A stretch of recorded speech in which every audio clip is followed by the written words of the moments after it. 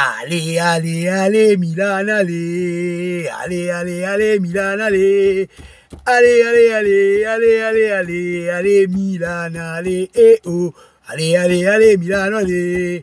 Ale, ale, ale, Milano, ale. In Italia, Milan, in Europa, Milan e dovunque, Milan per sempre. Sono sempre al tuo fianco, io di te non mi stanco, sei la squadra più forte che c'è. Perché il Milan è forte, olè. Perché il Milan è forte, olè. Perché il Milan è forte, perché il Milan è forte, perché il Milan è forte.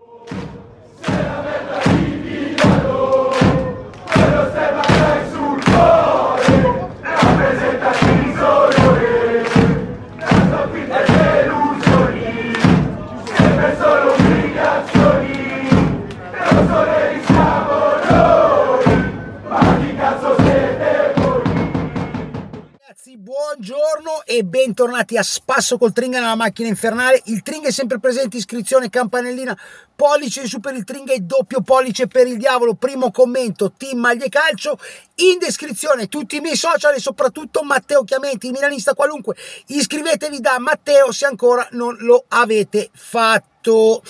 Buongiorno a tutti ragazzi, pochi preamboli stamattina perché è veramente giornata da Milan giornata di quelle importanti, eh, una vittoria che deve venire fuori mh, assolutamente perché è il primo bivio di stagione, assolutamente sì, probabilmente è una delle partite più importanti dopo la corsa scudetto della scorsa stagione, questa senza dubbio è la partita più importante perché in tanti parlano dell'aspetto economico, però a me dell'aspetto economico veramente non me ne frega un cazzo, perché sentire tifosi parlare dei soldi che entrano e non entrano nelle casse del Milan veramente Mm, lasciamolo fare agli altri e veramente lasciamo perdere sti commenti perché me ne frega un cazzo a me dei soldi che entrano nelle tasche del Milan.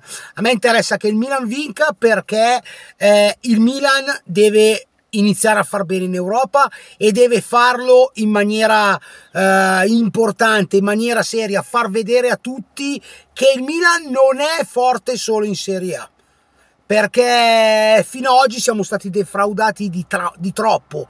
Eh, qualcuno ci ha sempre messo lo zampino per portarci via dei risultati e stasera, mh, mm, sperando, pregando che nessuno ci metta le mani, Mm, il Milan deve vincere. Il Milan deve vincere. Proviamo a dare una sorta di formazione perché dalle parole di Pioli eh, qualcosina è saltato fuori. Ci sono un paio di ballottaggi, ma ne parleremo fra un secondo. Eh, quasi sicuro del posto ed è la seconda volta che succede da quando è al Milan. Dovrebbe essere Ante Rebic sulla destra. Un Rebic che gioca in quella posizione spesso e volentieri quando era in nazionale. Adesso Rebic è un po' che in nazionale ha dei problemi.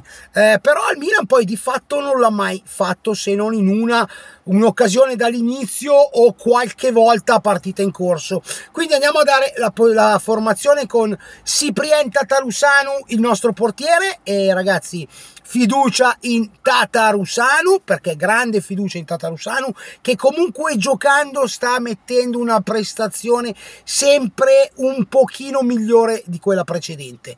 Quindi mh, mm, il, il, discorso vale per i, port, per, eh, per i portieri quanto per i giocatori, anzi per i portieri forse anche di più, perché un portiere che non gioca da un anno come Tatarusanu era normale che all'inizio potesse avere qualche problema, però mettendo minuti nelle gambe, giocando partita dopo partita si sta migliorando. La difesa con Calulu a destra, Gabbi e Kier saranno i centrali e Teo Hernandez a sinistra. Quindi Stefano Pioli si affida ai senatori di questa squadra, eh, non fa esperimenti, Serginio Dest in fase difensiva eh, non è piaciuto, non è piaciuto assolutamente. Serginio Dest sta facendo fatica perché comunque il Milan lì dietro ha bisogno sì di un esterno destro, di un terzino destro che spinga, ma ha bisogno che il terzino impari anche a difendere. Eh, sostituire Davide Calabria in quella posizione non è semplice perché Florenzi è un giocatore che era molto adatto in quella a sostituire Davidino Calabria perché difensivamente è molto forte, sono molto bravi davanti in fase offensiva, ma a livello difensivo sono molto capaci e avendo già un terzino sinistro che spinge tanto, il terzino destro assolutamente deve essere un terzino che copre e che copre bene, perché quando Teo parte poi bisogna mettersi a tre dietro, una sorta di difesa a tre dietro. E Serginio destro non lo fa bene, non lo fa bene, ha i movimenti che, che, manca qualche movimento in questo giocatore che vedo meglio dal centrocampo in su. Io e non soltanto io, anche Stefano Pioli penso la possa pensare un po' così, anche se ci sta lavorando. Mediani, i due mediani saranno Sandro Tonali e Isma Benasser, quindi co- torna la coppia titolare del Milan, una coppia che farà da frangiflutti davanti alla difesa, ma che soprattutto avrà tanto da dire davanti, con gli inserimenti di Sandro Tonali e il metronomo Benasser e quando gioca Benasser ragazzi il Milan ha idee e mh, mm, tocchi completamente diversi da quando non gioca. Benasser è un, è un ragazzo è un giocatore con tante idee, con visione di gioco e soprattutto è anche un motorino, quindi è un centrocampista veramente eh, su cui il Milan si affida tantissimo, tocca, è probabilmente il giocatore che tocca più palloni nel Milan e su cui a parte, il, a parte il farci molto affidamento è un giocatore che sposta degli equilibri al pari di Leao Brahim Diaz in questo momento perché Ismael Benasser in questa stagione ha fatto finalmente il salto di qualità anche a livello mentale. Lì davanti, lì davanti, ragazzi, lì davanti siamo in un, in un periodo eccezionale perché abbiamo tutti e, son, e, stanno tutti bene.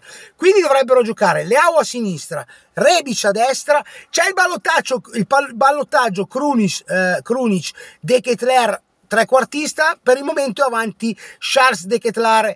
Ehm, Pioli dà spazio a Charles perché è giusto continuare a puntare su di lui. Eh, solo facendo così si recupera il giocatore, perché a questo giocatore manca un tassello per sistemarsi completamente, sia psicologicamente che a livello di campo e di gioco. Manca un gol o una giocata stratosferica e queste possono essere le sue partite perché senz'altro in casa la Dinamo Zagabria non si arroccherà in difesa, quindi qualche spazio in quelle zone di campo si potrebbe aprire. Lì davanti partirà Olli Giroud, ma attenzione a Divo Corighi ragazzi perché Orighi è lì pronto, è bello scalpitante, bello energico e vuole giocare giocare, quindi partirà Oli eh, dal, eh, dall'inizio, però Divock è bello carico, quindi attenzione perché eh, le staffette fra eh, Oli Giroud e Divo Corighi potrebbero partire già da stasera.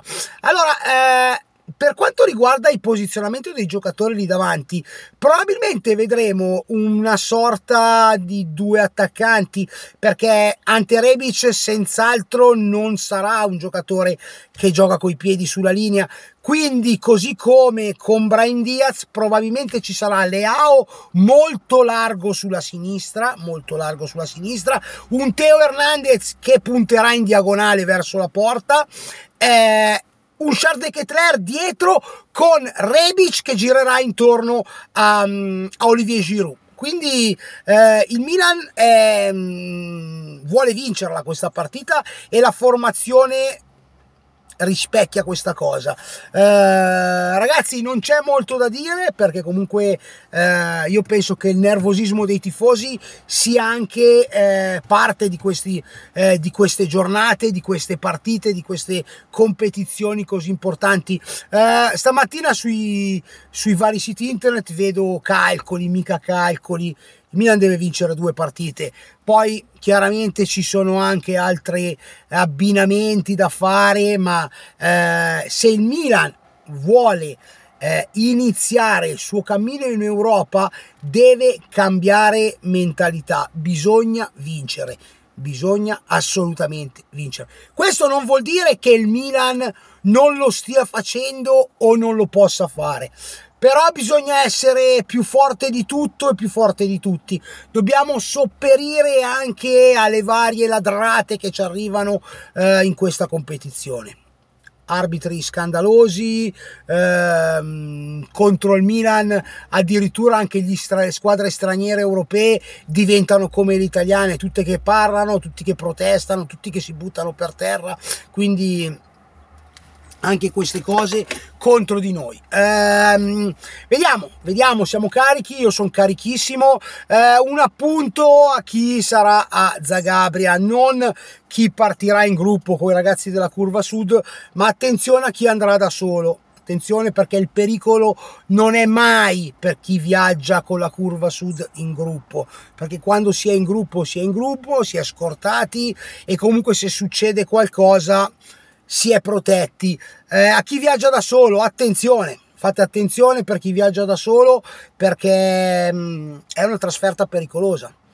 E quando loro sono venuti qua hanno fatto casino e le hanno buscate e c'è stato un comunicato anche dei Bad Blue Boys quindi ehm, attenzione ripeto non per chi viaggia in gruppo soprattutto per chi viaggia da solo Ripeto, non iniziate qua sotto, ah nel 2022 ancora queste cose, perché vi, vi, ripeto la stessa cosa che vi dico sempre, il vostro commento stupido non cambia le cose, la vostra ideologia del cazzo non cambia le cose, le cose succedono anche se sono sbagliate, quindi state attenti. Vi voglio bene a tutti, sempre forza vecchio cuore rosso nero, ricordate su questo canale si fa la vecchia maniera, noi siamo vecchio stampo, stasera dovremmo essere in live post partita mm,